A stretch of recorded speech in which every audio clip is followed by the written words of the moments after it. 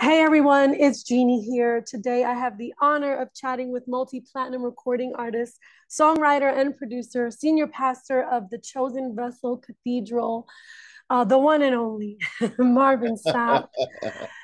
oh, I am so honored to speak uh, with this man of God. He has incredible things going on. The new film Never Would Have Made It, which I absolutely love. Thank oh, you so thank you. much for being thank with you. me again. I really appreciate this. Thank you for the opportunity to be able to share and talk with you once more. Yeah, well, talk to me about the film. How did yeah. this come about? What you know? Uh, I mean, your your life is obviously amazing, iconic. uh, your music is, but how did it? How did this whole movie thing come about? I mean, it was just a conversation, and the conversation ended up becoming a reality. Uh, TV One, along with Swirl Films, uh, talked to me about you know doing a biopic, and I was like, wow. Uh, initially, I was kind of shying away from it because you know even though I understand that I have notoriety, popularity, and celebrity, I'm still very guarded as pertains to how I live my life, and I kind of enjoy being below the radar, so to speak. Um, you know, even though I've had a very successful career, I'm I was good just being, you know, Marvin Sapp, being able to go and come as I please. But um, you know, when they asked me about this, I thought about it, and specifically in a season where people are experiencing so much loss or have experienced it because of the pandemic, I felt like we needed some inspiration. And uh, you know, hopefully, you know, me sharing my life, you know, will inspire people and let them know that no matter how, you know, traumatic things may have been, um, that there's still triumph after it. Yeah, amen. I think what was so cool about it is it was almost as if I went over to your house and you were telling me your story because you actually were narrating the film. Yeah. And you know, we were able to kind of see you now as we were also seeing some of the things that you went through. I really, really enjoyed that. It was unique. You don't see that a lot. So yeah, yeah, yeah. And I think that uh uh, shout outs, and I got to give a lot of love to to Russ, who directed the film and who more or less came up with this particular concept uh, about me being in it and narrating it and and sharing. And I mean, I I thought it was a great idea, uh, but it really made me feel good too because you know I got to to be a part of every aspect. You know, from co-writing to executive producing and mm-hmm. starring in. So that's that's a whole lot. But but uh, I'm grateful and thankful all at the same time. You know, I also love that you included, you know, the the, the part in your childhood where you, you know, you you we, we all do. I mean, I think I don't know. I didn't grow up right. like Christian or anything. Um, I converted later, but I think when you're young, you're curious and you kind of do things that they tell you not to do. And I love that you included the fact that you were drinking and smoking weed as a teenager and still serving, you know, like right. having that one foot in, one foot out. Talk to that, the importance of, of wanting to be raw and real like that. Well, I think, you know, people need to see that. Uh, they need to see a certain level of transparency um, because, you know, and immediately when they, you know, see Marvin Sapp, they assume that he came out the womb, you know, carrying a Bible and a mic in his hand. yeah. And the truth no, he he literally lived a, a tumultuous life. Um, that he really struggled in the area of alcoholism and drugs. Um, and later on in life, it affected him in some way, shape, form, or fashion, I believe. And uh, you know that, but still, there's a, a, redeeming and a healing quality that God can have in your life. Um, I grew up in a uh, a time where going to church was not optional you know, we we you know, it was like whatever you did on Friday and Saturday, you had to have your butt up, dressed, your clothes had to be pressed up. And mama said, get in the car, we going to church. And that's what we did. It was not like, I don't want to go home. I'm gonna play on PlayStation. You know, it was before all of that. So, you know, of course, you know, church was a part of of my core, uh, was a part of something that we had to do. Um, but even though I went to church, you know, I tried to show that church was absolutely not in me. But um, you know, God has a way of keeping you connected and keeping you close until you come into the knowledge of who you are supposed to be in Him, and that's what happened with me. Mm, that's amazing. That speaks right even to the faithfulness of God, how He'll he'll just be wooing us the whole time, even when we're kind of acting a fool. oh yeah, yeah, yeah. It, not kind of acting a fool. um, I really enjoyed too that your, you know, the relationship with your father. Mm-hmm. You guys didn't live in the same home, and you know, and that alone could really affect somebody, and you know, take them off course. But I, I enjoyed that in the film, you included the conversation with your father where he kind of lets you know like hey i know what you're up to like you really should stop you right. know just having that voice of that male figure you know telling you to do better. And i don't you know you didn't really go into detail about how your father lived his own personal life but despite that he was that voice for you which i think you know our youth needs today. You know a lot of our problems is because of the fatherlessness or the lack of that male voice. So it was just awesome to see how your father's voice actually wound up pushing you on to you know wanting better can you kind of talk to that yeah well my father was my hero uh in every sense of the word um, the reason why I sing today is because my father was an amazing singer when I was a kid, mm-hmm. and he sang in our local church choir in the male chorus. And um, even though my mother and father divorced when I was very, very young, um, my father did something that was amazing. He had a business that was literally a block and a half from our house. That's where the dry cleaners was. So, you know, even though my mom and he didn't get along at all, and I can be honest with you, um, you know, I was able to to walk a block and a half down the street and go to my father's job and see him as much as I wanted to see him. And and he was that that that voice in my life to tell me, okay, yeah, yeah, I've heard you've been doing some things that are out of order, that's out of line. And even though you're not in my home, I still have an expectation of you. And that expectation of you is is that you are a Sapp and you are supposed to be a leader and not a follower. And um, he instilled that in us not only myself but in my brothers as well, and uh, you know held us accountable in those areas. You know, even though he wasn't there when he was around, it was always words of affirmation, and if if we were acting out of line and he knew it, it was words of chastisement as well. Mm-hmm. Talk about being a father now yourself and and kind of continuing that way of parenting and the impact that you know it makes. Well, my kids, you know, when my wife passed away, my children were very young. They were like 11, 13, and 16. Wow. Um, now they're 28, 25, and 23. Mm-hmm. So, so they're all young adults at this particular point in time. But I made a decision when their mom passed that my focus was going to be to ensure that I raised, you know, three productive young people who uh, would pay, play an intricate part in contributing to the community that they live in. Um, I tried to model a specific behavior in front of them and even mm-hmm. behind closed doors that they can absolutely be proud of. And, and I think that I did it. Um, mm-hmm. you know, my kids are doing well. My son uh, just got engaged. He works for Amazon Web Services. He's 28 years of age, wow. uh, has an excellent position for Amazon. Um, both of my daughters are in college. My my middle child, she has working on her master's degree, wow. and then my youngest is finishing her dual bachelor's degree in psychology and biology. So they're doing exceptionally well, and I believe that a part of the reason why is because they had a father who wasn't absent. I may not have been around a whole lot because mm-hmm. of my travel schedule, but thank God for you know FaceTime and Zoom and emails and things of that nature. But then at the same token, when I was there, I was always present. Yeah.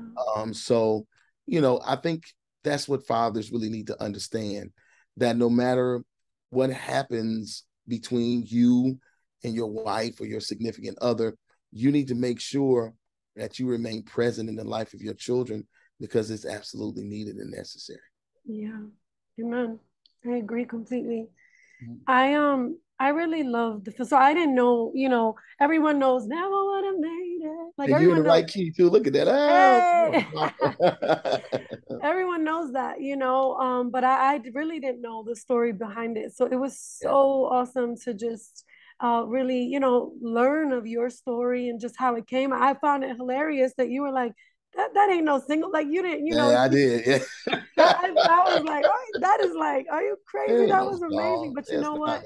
Yeah. That it's the rawness of, of the emotion, of the passion that you had in it. It just it identifies with us all.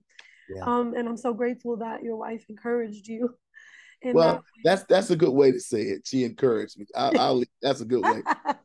it was more nagged. She nagged. She she was like it was it was a consistent conversation uh and even up until the day before i recorded the thirsty cd i was actually in revival in los angeles and when i got back home uh aaron lindsey my producer was like hey man lynn was telling me about this song called never with me i was like i've already told you i'm not doing this and uh you know after uh consistent prodding uh, put it on. But I'm I'm I'm very very grateful that I did listen to my nagging wife because you know, 16 years later, this song is still very relevant, mm-hmm. and uh, now it's a biopic out of it, and uh, we don't know what else is going to happen because of it. But whatever it is, we're open to it because we we just believe that, that this is a God moment and God's in it.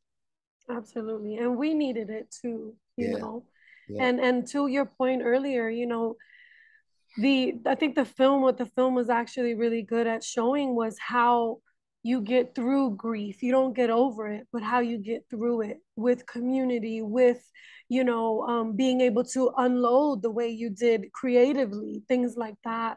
Talk to talk to that just to the importance of um, having outlets when you are in despair and grief. And to be honest, I think in this season, everyone's been touched in some way or form, and you can kind of be able to identify with that loss or grief in that way. Well, we're dealing with a lot of anxiety, you know, because of COVID. COVID has really, right. uh, really has birthed anxiety in the life of so many different individuals through death or through sickness or what have you. I, one of the things my wife, uh, she was a licensed psychologist by profession, mm. um, and an educator. So uh, it was just a natural progression that once she transitioned from this life to life eternal, that my kids and I, we got into counseling, and that's something, um, sadly, in the urban community yeah. that we struggle with. And um, immediately, I got my kids into a licensed clinician um, so that they can have somebody to help them process exactly what they were experiencing. And the same with me. And even today, because both of my daughters are psych majors. My my middle child, she's a psychology major. Wow. And she's uh, in her master's program in psychology and working toward getting her PsyD. My baby girl, you know, she's a psych major, biology major. And all of them are, you know, moving towards the whole piece of being able to um, work with individuals in the area of counseling. Um, and that's one of the things that we're missing. That's yeah. one of the things we're missing. So, you know, I, I always recommend whenever I meet individuals who have experienced what I've experienced, the first thing I always ask them is, is have you gone to counseling? Mm-hmm. Because we always talk about praying through, yeah. but we never talk about how we need somebody to talk to. Yeah. Some of the things that we need ain't always something that we need to pray about sometimes we need to have people in our lives that can help us process, yeah. to teach us and give us the tools that are necessary in order for us to be able to navigate through these emotions because there's going to be hills, there's going to be valleys, and and it never goes away. I tell people all the time the pain never goes away. Um, but what will happen is is that it comes and it goes and you need to be able to figure out how to manage it when it comes and you need to know how to deal with it when it goes so um, I believe that community is absolutely important. Having people around you uh, to help you get through it is is everything, and and and that's something that my my children and I absolutely had. But I also want to make sure that people understand that a part of prayer is to have somebody that you can sit in front of uh, who is clinically trained uh, that can help you get through it as well. Mm. Amen. Yeah, the the waves of grief, right? We, we definitely need that. I love that. I, I was thinking, yeah, I, it's almost impossible to get my Latino father to get some, you know, counseling because of just the conditioning of like, oh, yeah. yeah, it's wild. Yeah. Um, but I'm all for it. I'm I'm with you there, 100. percent Um, so my last question was actually something that you segued into about community because I also was shocked to to find out that never would have made it was kind of written as uh, in honor of your earthly father, but it also ties into your heavenly father. Yeah. So can you kind of talk to that and the the the fact because it's a fact, right? That we actually can't make it without our heavenly father and without each other. Well, you know, honestly, when when when the song was was birthed, and I always say it was birthed because it wasn't like sat down and written. It just happened in a spontaneous moment. The Sunday after I buried my dad, it was actually a song about God. And I was just telling God, you know what, you know, the grief that I'm feeling right now, the pain that I'm going through right now, God, I don't even know how I made it to this point. I I I, never would have made it. I never could have made it without you. I would have absolutely lost it all. But now I see how you've been there for me. And after this, God, I am going to be strong. I'm going to be wise. I'm going to be better. Yeah. Mm-hmm. It just happened in that moment after my dad passed. Mm-hmm. And um it's it's amazing to me, really. Uh, every day I think about it, it it is amazing to me that something so simple can have such a massive effect. Mm-hmm. Uh, never woulda, never coulda, stronger, wiser, better. Mm-hmm. That's the song. Yeah. That's the entire song. Now, honestly, there are two verses and a bridge that I wrote to it that no one will ever hear. Wow. Uh, because my wife said, "Oh no, you done messed the song up now. all off of it." That's what she told me when I gave it to her. And um, but it, it's amazing to me that the song has had the type of staying power that it's had, that so many people have been encouraged. And my hope and prayer is that for everyone who watches this biopic, um, that they will get some encouragement. There's three messages specifically that I want you know people to remember when they watch it. Number one, I want them to remember that no matter how far your child may have gone, that God still has his hands on them. Yeah. Um, number two, I want them to remember that just because you have uh, been diagnosed with a particular sickness, yeah. um, it does not mean that God cannot heal. No. Um, and then last but not least, I want them to remember that even if God doesn't answer your prayers the way he you want him to, that he will give you the strength to endure whatever it is that you have to face. Behind every trial, there is a triumph. And if they remember that, the rest of their days will be the best of their days. Mm, amen. Yeah, we didn't even touch on the miraculous healing that you got from epilepsy. Yeah. That was yeah, yeah. The movie's was... amazing. I, I actually really I love the comedy. There was some comedy in it. it was great. It was. It, I watched it with my husband and a friend. We were all just sitting down. I was like, I gotta watch this for work, and we loved it. So thank you. Yeah. I'm happy that the song continues to live on in yeah. this way, and I just know it's gonna be a blessing. So I appreciate you. Is there anything else that you'd like to add? Nope, I'm good. I'm good. Oh, I got a brand new CD that's out. It's called Substance. They can pick that up. And then last but not least, um, we did an anniversary edition of Never Would Have Made It.